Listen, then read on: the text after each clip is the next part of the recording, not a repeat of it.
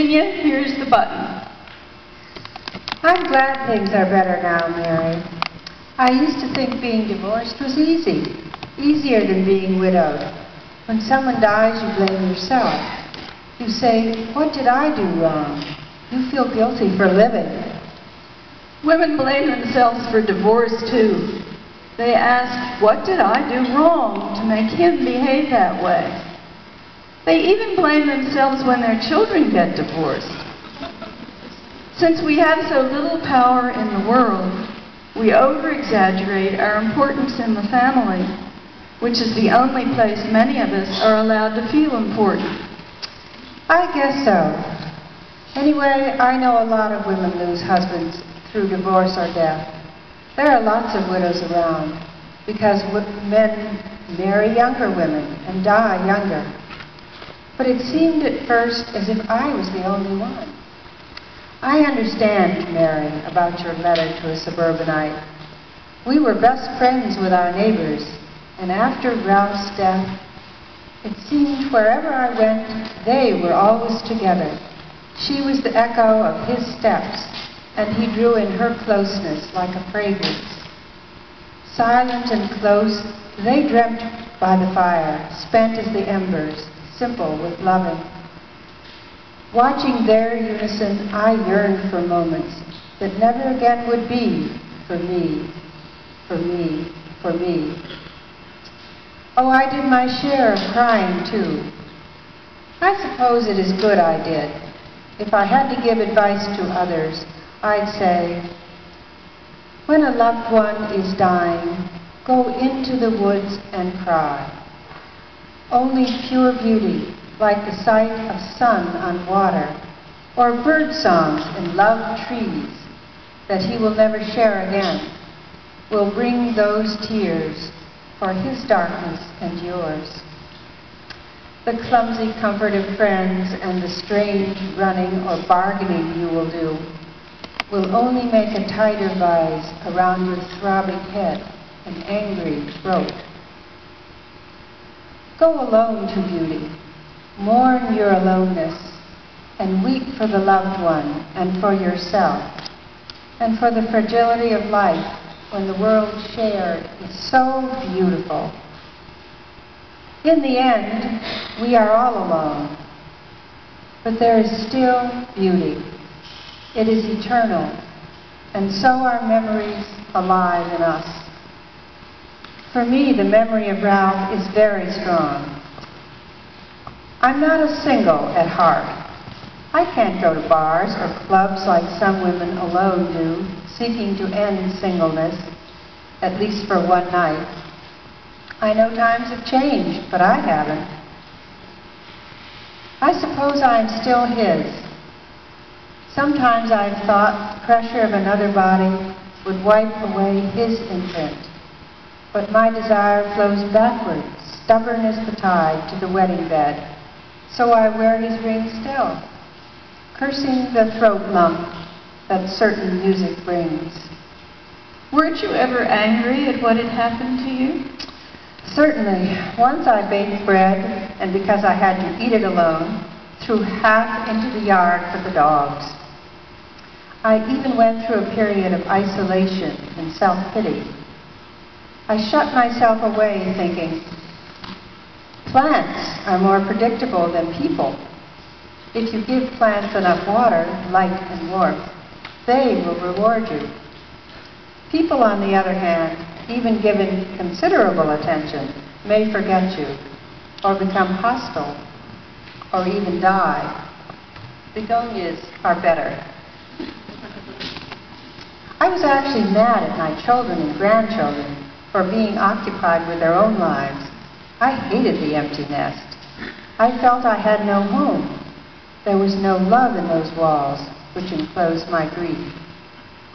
No comfort in plants and colors with which I tried to deceive. There cannot be a home for one where there have been many. A woman alone becomes an orphan crying in the night with only cold walls to hear. You seem all right now. It's hard to believe that you were like that. How did you get to feeling better?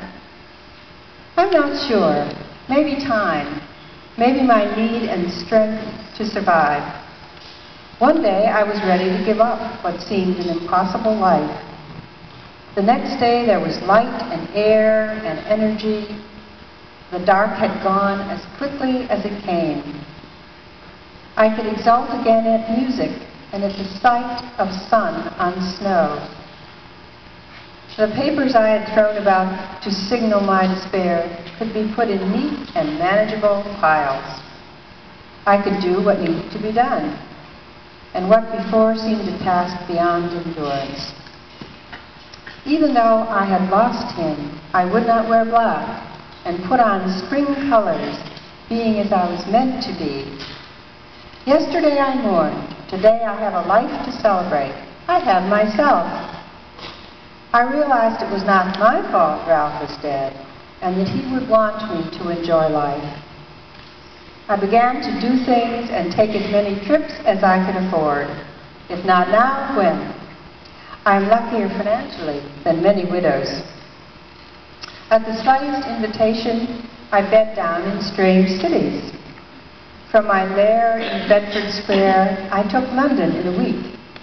Paris is my harem now, and Aberdeen, and Amsterdam, and Bath, and Berkeley, too. New York and Washington are mine. I have dallied with Chicago, San Francisco, and Tucson, Puerto de la Cruz and Marrakesh. I do not love you less because I made Atlanta mine.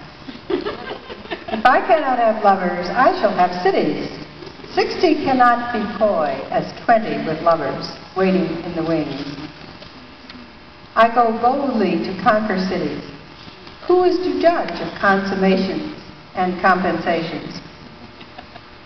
I also decided when home to get out daily for exercise and seeing people.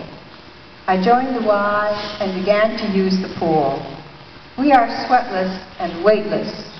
Purity personified, our rhythmic motion comforting as we unite with fluids of our individual and species birth.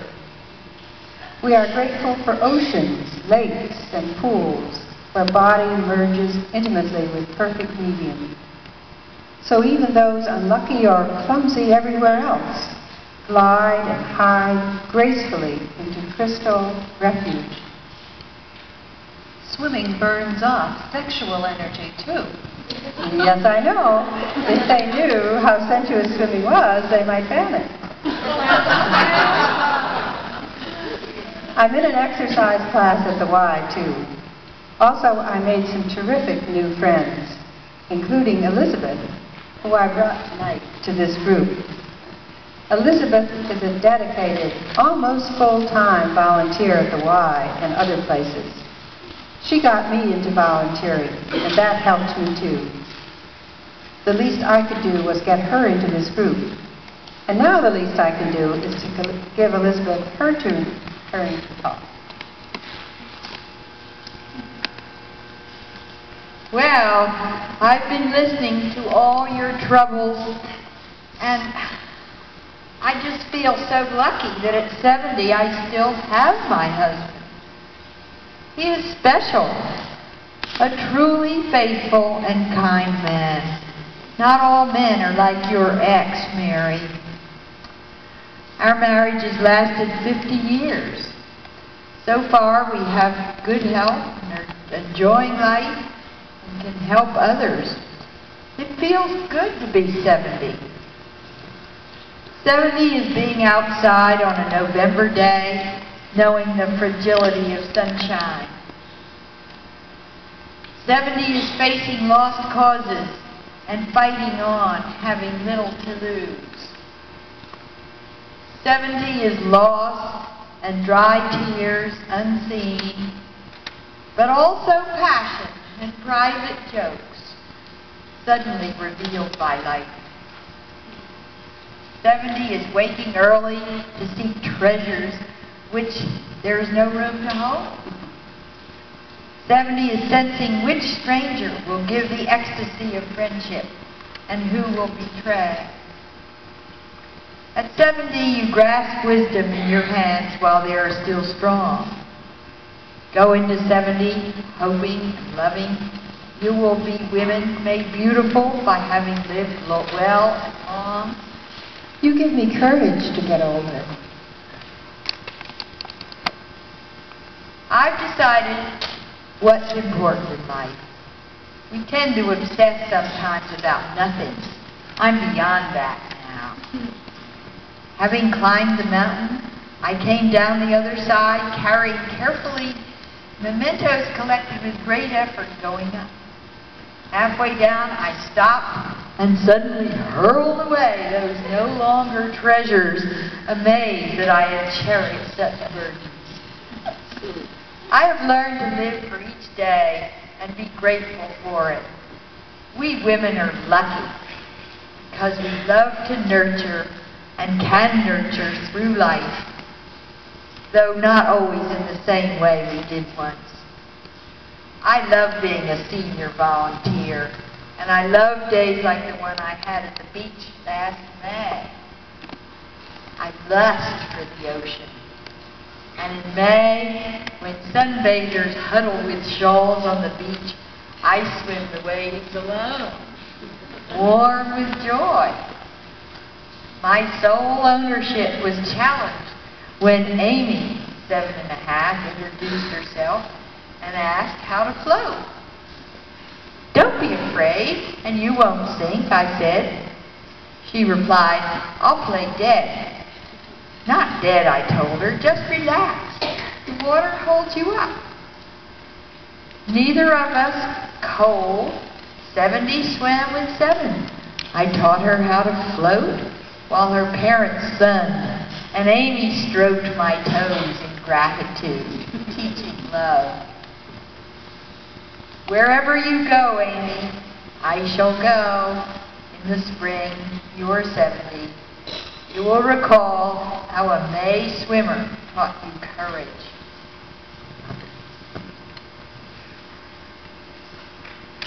Though I shall be long gone, I will live then in you, my child and my sister. Yes, life is good. The only thing, of course, that I worry about is that my health may fail, or that Jim will get sick, or that I will become senile. Even my children grow old. I see my years written on their once soft faces, now wise and worn. I hope at 80 I can still do the things I love. Dora, what is it like to be 80?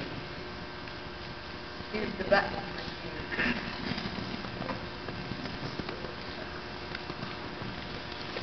You're the same as you always have been.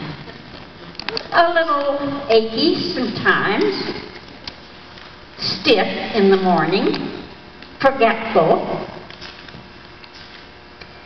Yet within, you are all the things you ever were and more. Two years past 80, I forget a lot of things that I wanted to forget.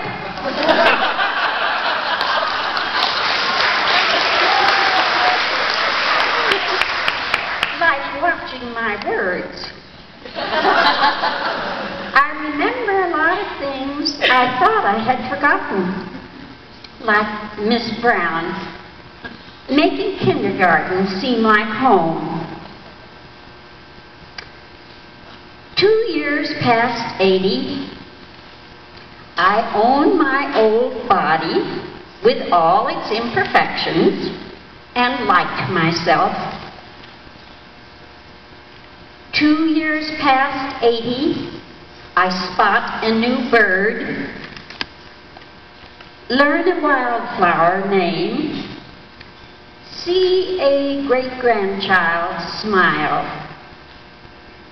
hear live for the first time Bach Sonata in C major. Tell the president off. Drink a new wine. And make new friends of you. There are lots of good things. However, The bad thing is, some people don't see you at all. They only see age and reject you because of that. It makes me furious when people start to talk to me as though I were a child. Mad turns inward, becomes sad. So I express myself. I am in this old body, but not of it. My mind runs barefoot, unwinded along the ocean, and my spirit climbs mountains. Who are you to judge my me unfit and unlovable when I so love the world and human touch? You know, some people never touch old people as if they are repulsive. I noticed when I was in the hospital, the interns and medical students stood practically across the room, and they couldn't wait to get out of the room. It was different with the younger patients. Old folks have the same needs as other people for closeness. I let them know how I felt about it. I'll make a prediction. I will leave as I came, screaming pain. I shall not accept with grace the indignities of age or the indignities to, to age, but exit, not too soon, decrying my doom, hating my fate, protesting my loss, pushing back the end with every angry breath.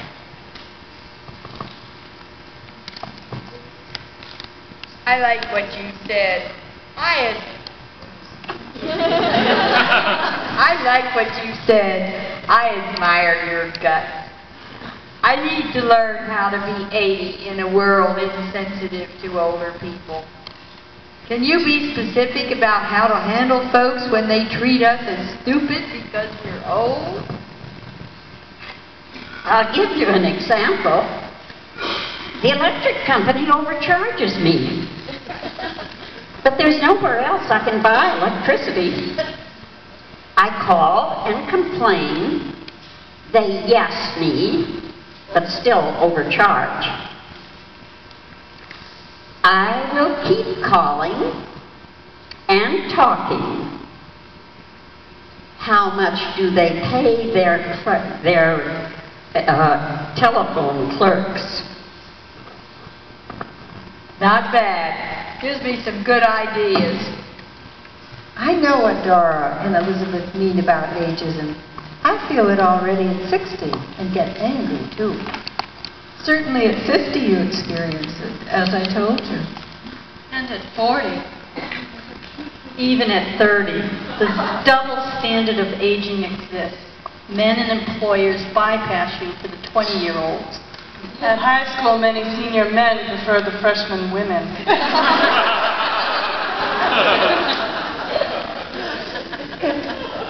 Ageism is a common disease. But you should do what you can about it. And you shouldn't wait till my age to start fighting ageism. Also, more young women ought to get acquainted with older women to prepare for aging. I am glad I have you. Many of my friends and my husband have died. A few of my old friends no longer recognize me. But I have come to some reconciliation with my losses. No love is lost, even though the lover turns away from you and life.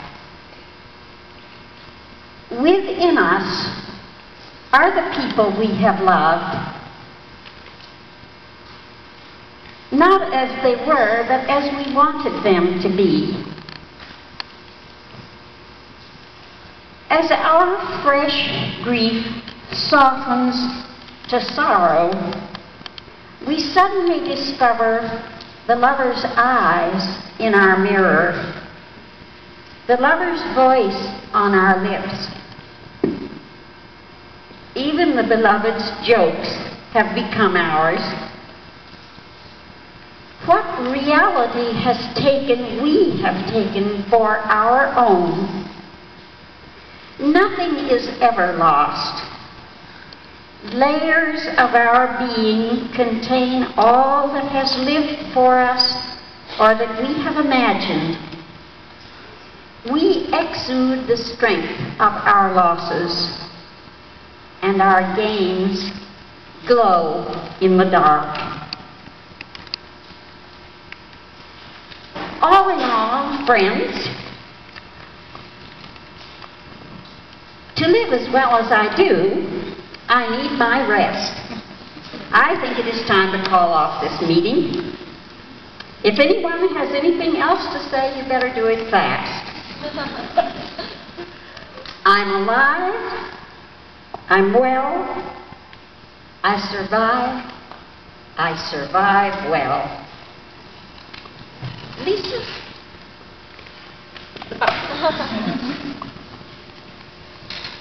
I'm alive, I'm well, I survive, and I survive well. I'm alive, I'm well, I survive, I survive well. I'm alive, I survive, I'm well, and I survive well. I'm alive, I'm well, I survive, I survive well. I'm alive. I'm well. I survive. I survive well. I'm alive. I'm well. I survive, and I survive well. We will rest Together on our ambivalences, we will share islands as we struggle toward an uncharted shore.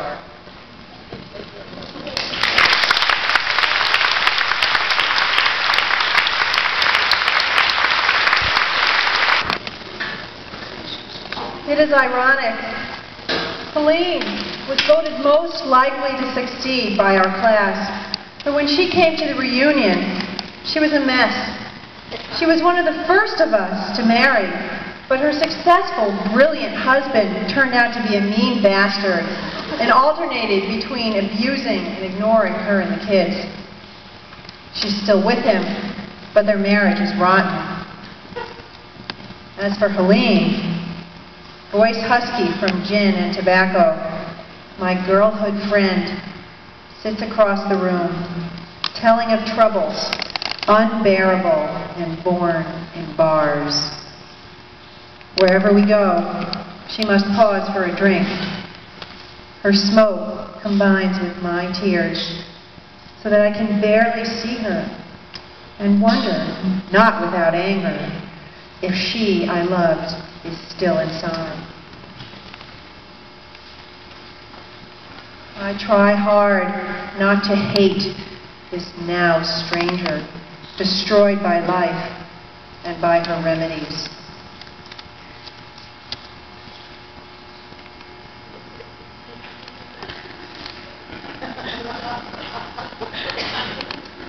We walking wounded, triage to ourselves. We're barely visible. We're living alone, or with cats, or catastrophic people. We're humans too. Oh, I have sought a longing nest, but nowhere have I found a home. Except these bars where I buy a seat. Those who do not belong long for companionship. Even Thoreau left Walden. Full circle I come from loneliness and pain to this circle, my glass and double pain. Life, which withheld may yet give, and so can be trusted.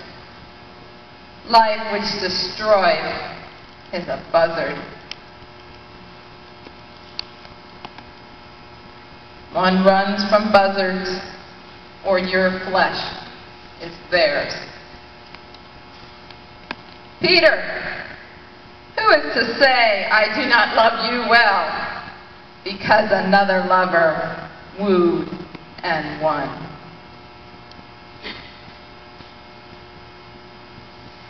Too many yesterdays creep into today's. Her clock is clogged with soggy memories, unresolved and unresolvable. Her clock threatens to stop, and she to stop it. She who raced against time is running out of time.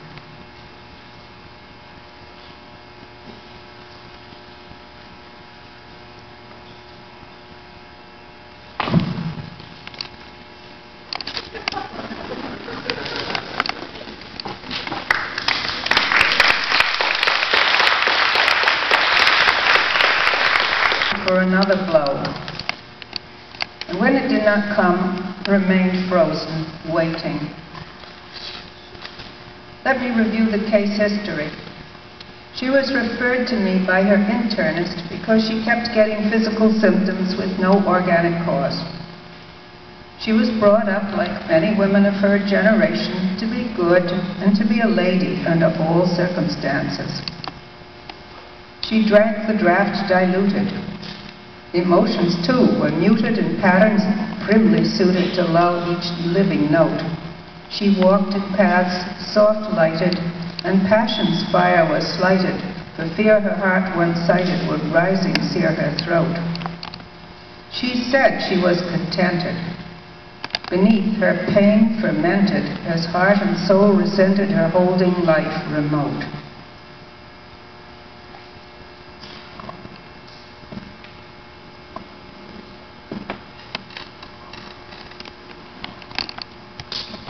How are you feeling, Catherine? like walking alone in November on rotted oak leaves, in cold rain at midnight,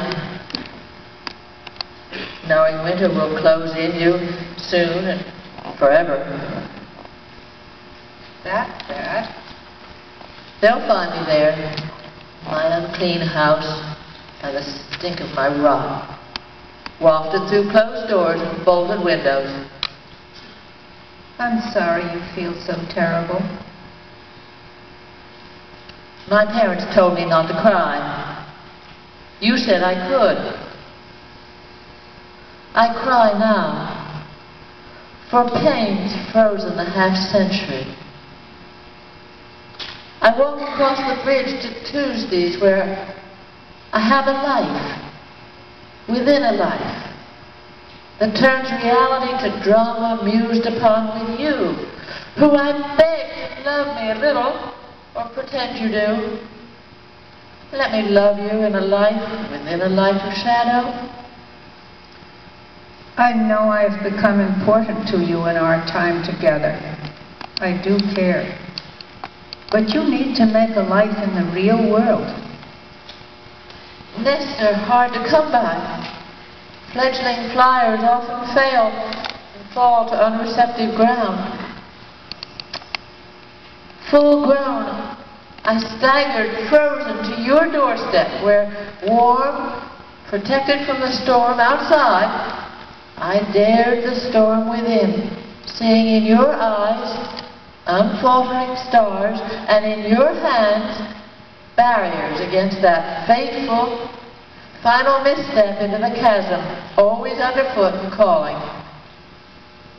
To leave the doorstep of an imperfect mother with only young fears is hard enough. To leave the doorstep of a perfect mother with adult knowledge of the raging storms is too much to ask.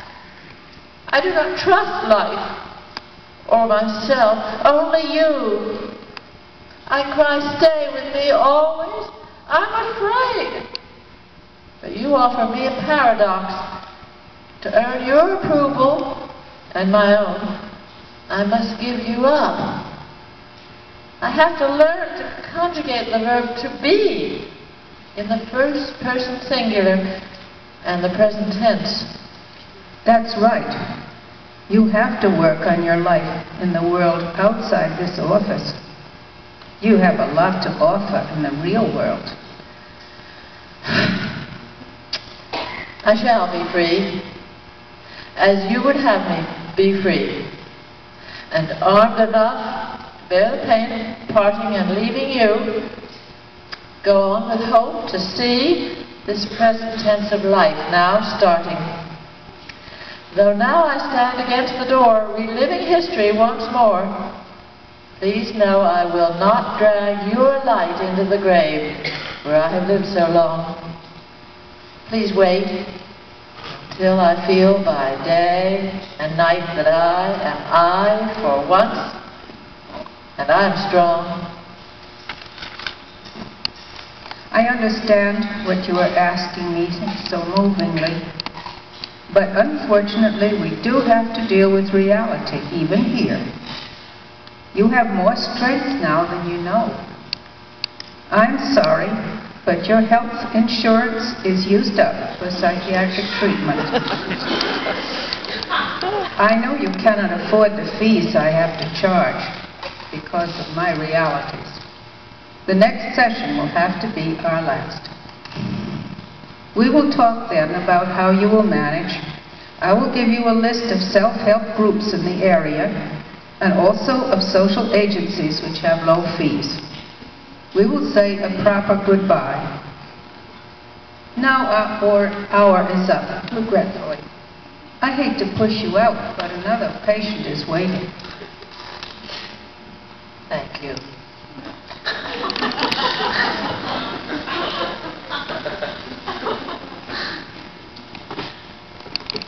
That was painful. I'm exhausted. I hated doing that. But I can't work for nothing. I must support myself. I tried hard. She's better than when she came. At least I haven't made her drug dependent. She feels better physically. Before, she was headed for unnecessary surgery. She could have used more therapy, but there are so many others waiting. So many casualties.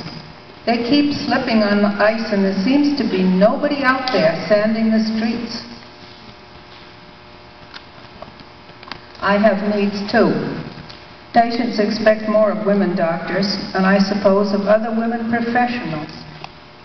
And they get angrier at women than men when we can't deliver everything forever. The Catherines see us as perpetual nurturers, but we are only human. Each woman's pregnant face invites seduction, rejection, always. My breast is empty. My ear is tired. Please take endless troubles other places. Help yourself. Be quiet. Manage. For now, I am out of chicken soup, and the only client for my couch is me.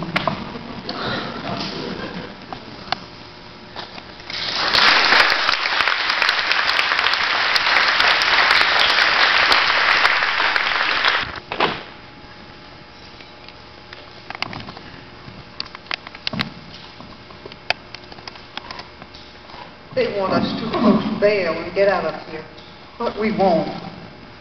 They put us in jail for protesting the missiles, and we'll stay here to make people aware. Yes, we must do what we can to stop a war. We'll stay. Agreed. But the dirt in this jail is awful. I need a bath. Agreed also. But if those guards don't stop yelling dyke, I may hit one.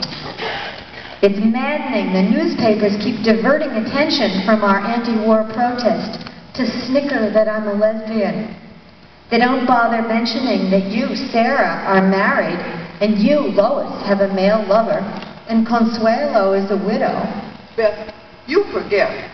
They keep writing about my kids being at home unmothered while I'm here in jail. They forget the kids have a father. The truth is, they don't see women at all as full people. They trivialize the causes we believe in and they don't take our political actions seriously. They simply point to our sexuality, whether heterosexual or homosexual, and to our mother role as if, this, as if that is our only identity. You're right. To tell the truth, when they don't take us seriously, even I, sometimes in weak moments, begin to wonder why we put ourselves on the line for a cause that's probably lost anyway. They keep building the nukes and the weapons and starting wars, no matter what we do. I think we better remind ourselves why we are here. That would be good. It would help me also to seek why we are here. The bishop's lawyer wanted to pay a fine and release me. I wanted to come to the truth of it. Was I wrong to do what I did and to stay here? Okay, let's talk about it. You first, Sarah. It may sound dramatic when I tell you how I feel, but I feel that way. A life needs goals to stretch toward. I saw in my children's soft young faces my mission and my goal. I would give them love and the world would be theirs. I kissed each warm and precious cheek, but when I recognized that the world, what the world really is, I pulled away in shock to find the death heads cold beneath. I saw my Jewish children's children marching to the gas ovens, all bringing with them little goals like worn-out toys to bed.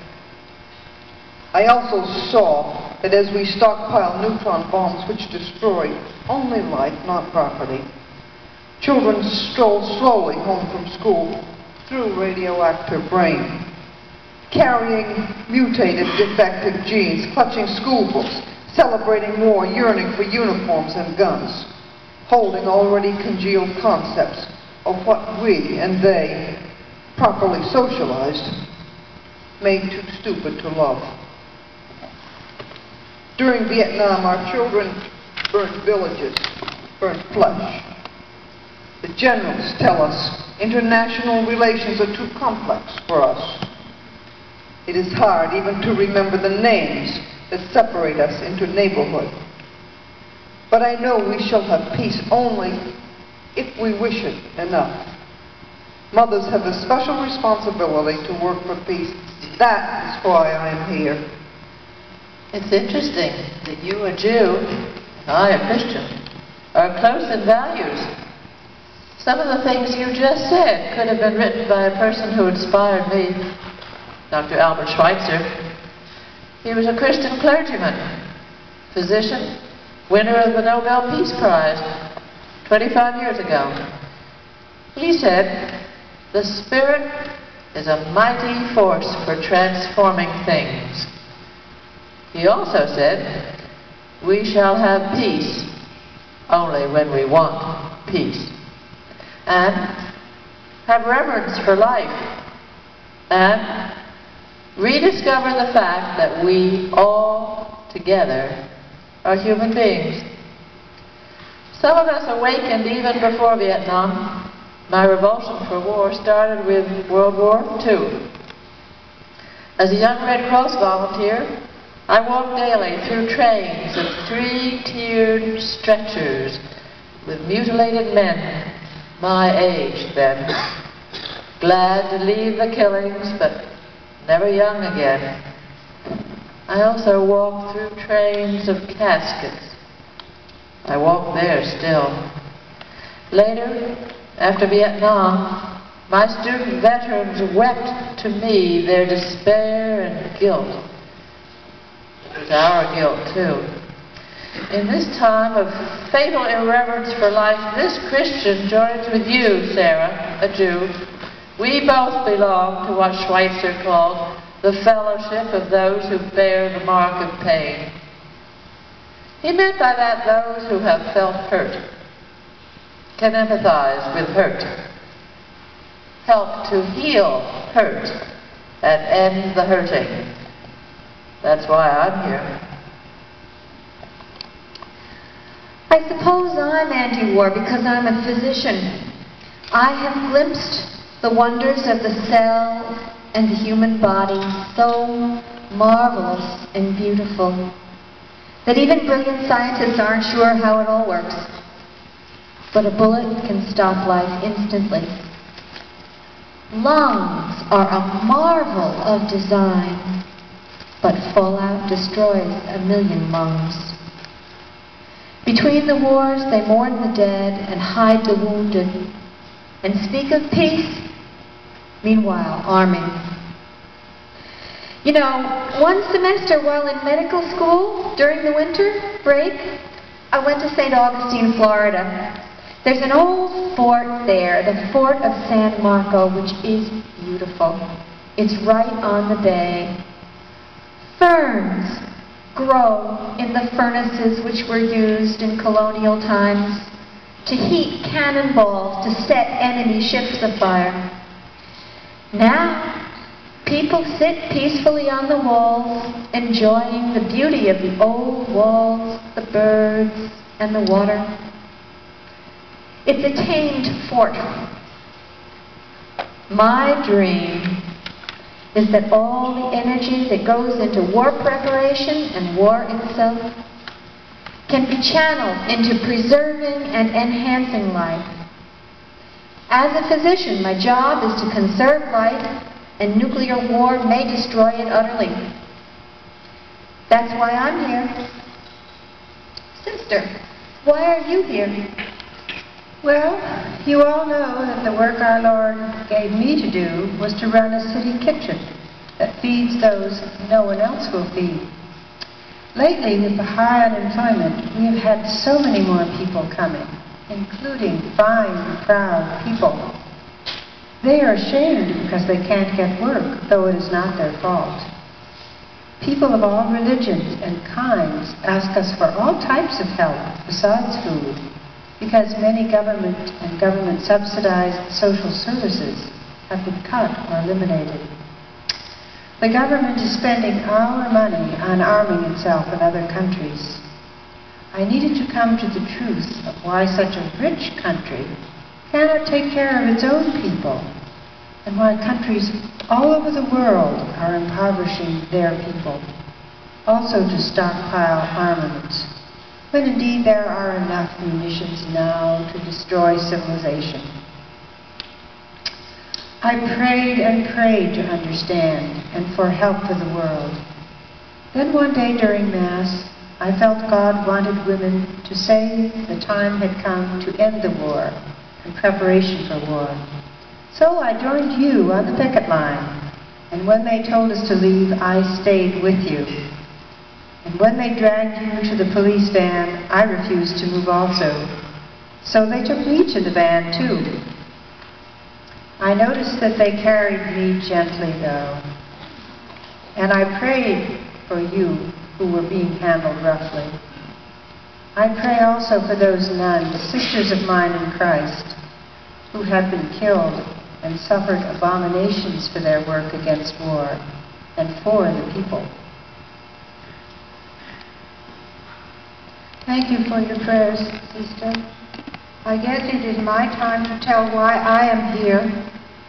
I will not say it as well as you, who have more education. I had to go to work very early and worked all my life in factories, even when my children were small. There was not time for books. My husband did hard labor. He died young, worn out. My children are grown now and I have only myself to take care of.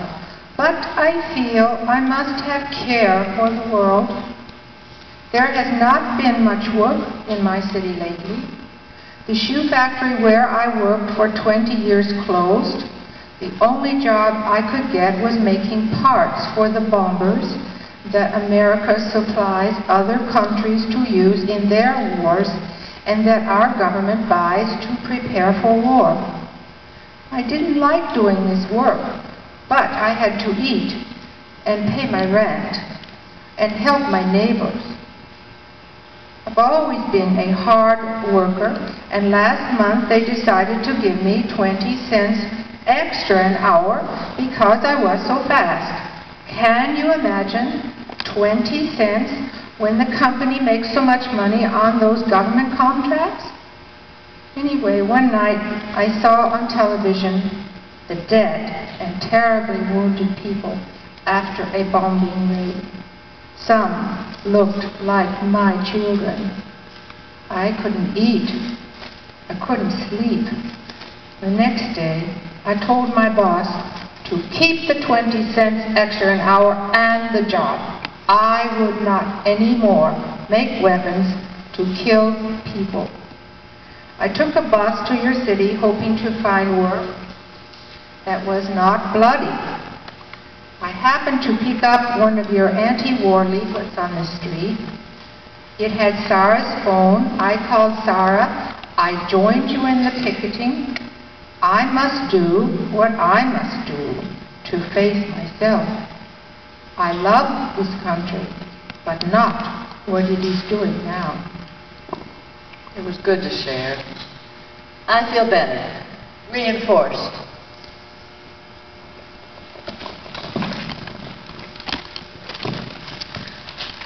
We are in the middle of war and peace, radicalism and conservatism, private concern and political action, activism and retreatism, convenience and the environment, our country and universality. We will make splashes as we thrust with other women toward a shore uncharted but not denied by us.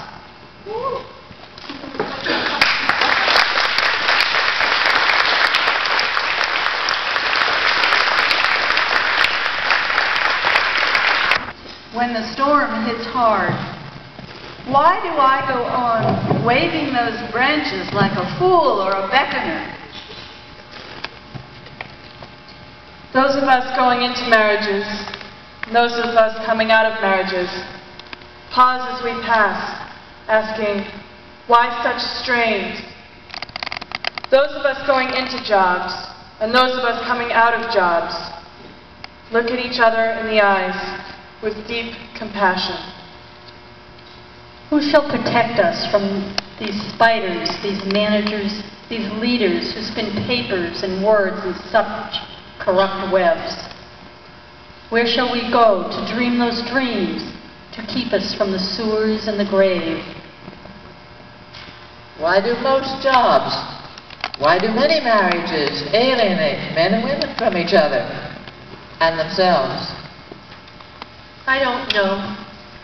I only know that I came into this isolation knowing that before we parted, we lay body to body, man and woman together, unclothed and unmasked in our need for comfort, yet could take none from each other for more than a minute. A moment I recall weeping for what might have strengthened us instead of sending us to weep alone. Why, when life is lost and humans fragile, don't we cling together instead of blaming those we love the most? How can we revenge ourselves upon the world instead of upon each other or ourselves?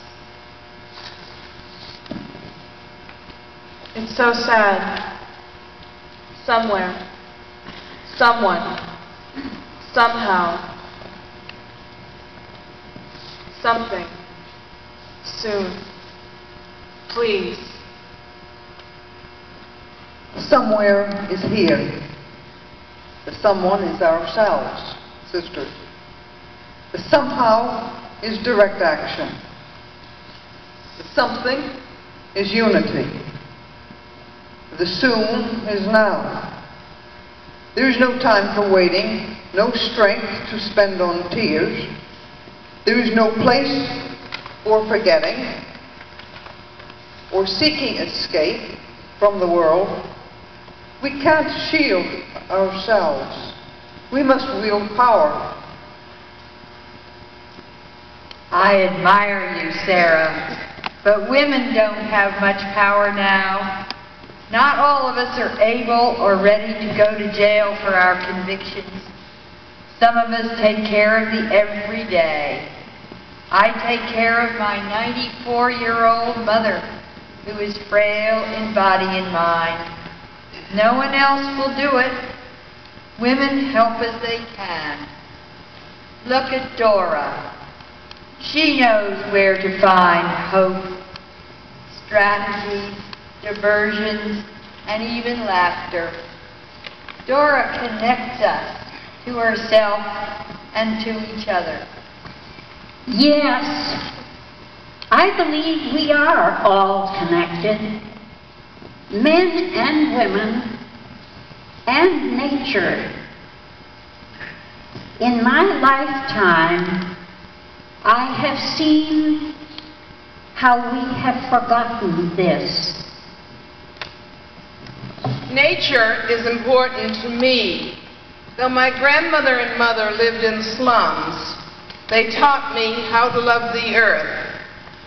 In the crowded, dirty city, we always had plants blooming in the windows and on the fire escapes.